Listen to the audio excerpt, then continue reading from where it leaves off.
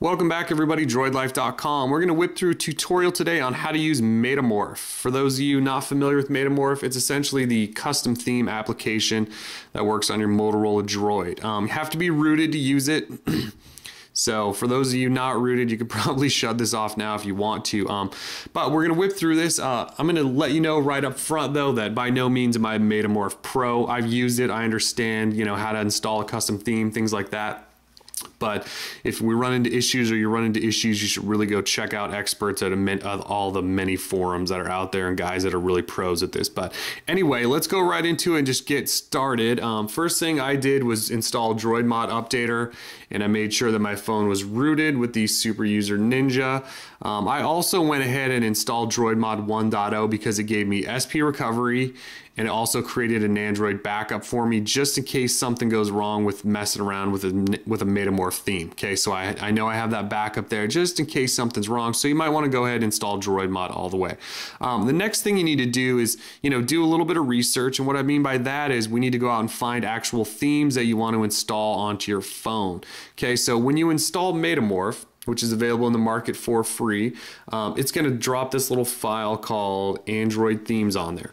Um, and what you're going to do is once you found a theme that you want to download, it should be a zip file. And once you get that zip file, you're going to drop it into your SD card. So you can see in here, this little open box thing means it's a zip file. So I got high res, high res, pink, blue, smoked glass, X hero, X stock. Okay, so those are the zip, those are the zip files. I left them in zip, didn't extract them or anything like that. You can see there's some folders in there and I'll show you what that means in a second. Okay, so once you found that, then we can go ahead and load up Metamorph and get started. Once you know you've got root access, you got some you got some zip files in there of themes you want to install.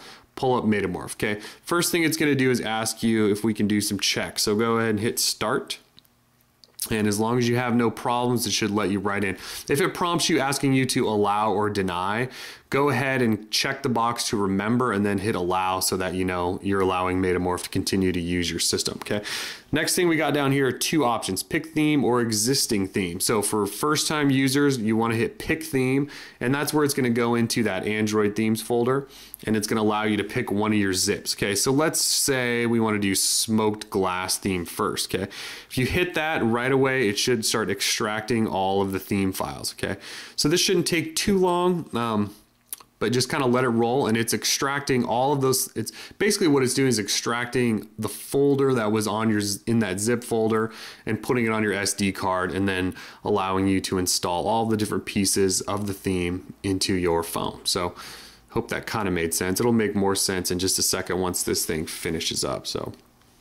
Um, just to let you know, I played with Metamorph a little bit here and there. I've had some success had some failures. Overall, I always got back to my phone working, so that's always a good thing. But I did have a scary moment where the phone shut off and would not turn back on at all. I couldn't even get to the Motorola symbol and I had to pull battery and somehow magically it turned back on. So just be aware that it is, you know, sort of a risky process, but one that you shouldn't have too many problems with. Okay.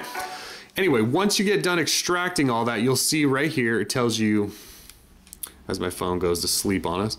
It tells you right here what theme you just chose and you extract it. And it tells you made for version 2.0, 2.0.1. And if you had a 2.1 theme like ERE25 or something, you installed that ROM on there, then you'd want to make sure this said 2.1. Okay. But we installed Droid Mod, which is just 2.0.1. So here we go. Um, what it did though is extracted all of these files in here. Okay. So what it's saying is it wants to install a new alarm clock that is the smoked glass theme, okay? Or it wants to install the browser that is, or the desk clock, or your email, or your Facebook, or your 3D gallery, your Genie widget, all this stuff. What it wants to do is just change the look of these to smoked glass, okay? So what you want to do then is just select one, and then you say apply it, and that's basically it. So you can go one by one and select everything you want to do, or you can also just tell it to select the entire theme and change everything on your phone. So I'm just showing you what happens when you do one thing and then I'll show you in a second how you can do everything. Okay, so I just did the launcher. If I click home now, my launcher should look different and sure enough it does. It's the smoked glass launcher. Okay. So like I said, you can do this with every single little thing. Oh, and it didn't like my beautiful widgets anymore. So we'll get rid of that. Anyways, we'll go back in here. So we'll go back into Metamorph. Should take us right back in here. Um, and so now we can just scroll through here and you can go in and pick, you know, whichever thing you really want to change. Um, the big one you might want to do would be the framework one down at the bottom. What that does is change all of this stuff up here, status bar, and makes that all the smoked glass theme or whatever theme you're going with, okay? So usually there's a button down here that says apply all, and I'm not sure why there isn't for the smoked glass, but for most of the themes that I've found there are. So anyway, but I'm gonna show you another one and I actually have an existing theme in here, which is this high res pink. And since our, you know, sort of theme color is high res pink, we might as well show you what, what our droid looks like in pink, okay? So anyways, if you go into existing themes, so let's say you've, you know, extracted a bunch of these in here, like I have four in there right now. It gives you this folder and we can go in and tap on that folder. And what you're looking for is this file right here. Okay, it lists all the stuff out you, at you, just ignore it. What you want is this file right here with the Metamorph logo next to it. Choose that and that gets you back into this. So you can see high res pink for my Droid 2.0.1 and it lets me start choosing all this stuff. Okay, so I'll just show you some of the cool things you can do. Like if I choose Facebook right now and apply,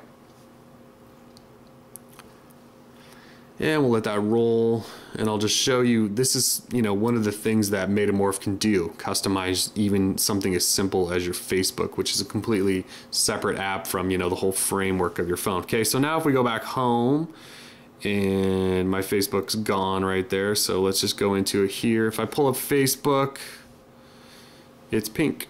See that now? The whole thing is themed in pink, okay? So let's go back into Metamorph and let's do one other thing. Let's go ahead and do framework. Okay, if I do the framework, just letting you know right now, if I click apply, it applies the framework. When this gets done, it's gonna ask me to reboot the whole phone. Okay, so just beware that when you do framework stuff, it makes you reboot your phone, which is not that big a deal.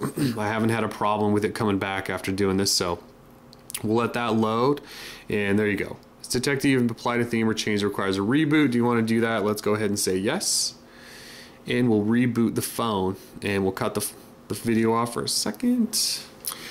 All right, so we're loading our phone back up. We just installed the pink framework, and let's see what we've got. And as you can see, we are pink. Don't know if you can actually tell if that's pink or not, but that button right there is pink. And then we got black, you know, notification bar with pink everything up there. So if we slide that across, you should be able to see that that is all pink now. And it's changed now. Um, you know, it shows a different battery and it also just has pink logos and all that stuff. So anyway, that's essentially Metamorph. It's it's installing themes, making sure you get the zip file dropped onto um, onto your phone correctly, picking a theme, picking the options you want. With a lot of these, like I said, you can tell it to just do it right now. You can say apply the whole thing. Like I'll show you if I go back in and go into my high res pink and I go into this high res pink file right there it says apply all. So if I hit apply all, it will take over my entire phone and turn everything pink, which is, you know, cool, I guess, if you want a pink phone. But like I said, there's a theme for, you know, pretty much everything out there, blue, smoked glass, X Hero, all that stuff. So, you know, they're out there for you to play with. You got to go find them. I will post a few on the blog, but this is essentially how you do Metamorph. So if you got comments, questions, you know, drop them at the site and I'll, you know, do my best at answering those. Um, but we're droidlife.com. Check us out. Peace.